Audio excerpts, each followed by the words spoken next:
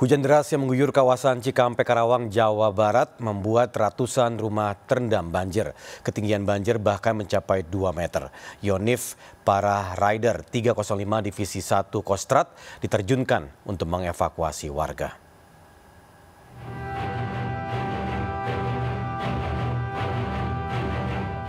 Dengan berhati-hati, tim Yonif para rider 305 di VIP 1 Kostrat mengevakuasi warga desa Dawuan, Cikampek, Jawa Barat.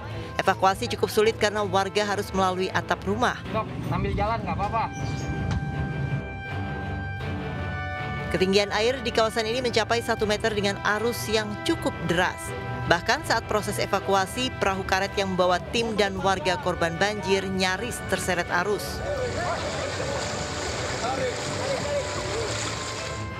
Untuk proses evakuasi warga korban banjir Cikampek dan Yonif para rider 305 TKR Kostrat Mayor Infantri Fajar Ahirudin mengerahkan 36 personil yang dibagi menjadi tiga regu penyelamat. Tiga regu dipimpin Letu Infantri Wigit mengevakuasi warga korban banjir ke sejumlah lokasi. Regu penyelamat dari Kostrat menyisir permukiman warga dan mengevakuasi balita serta lansia ke tenda pengungsian. Dari Cikampek, Jawa Barat, Tim Liputan melaporkan.